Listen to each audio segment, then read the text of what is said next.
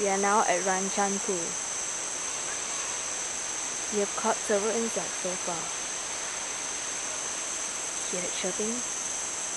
Those are all insects.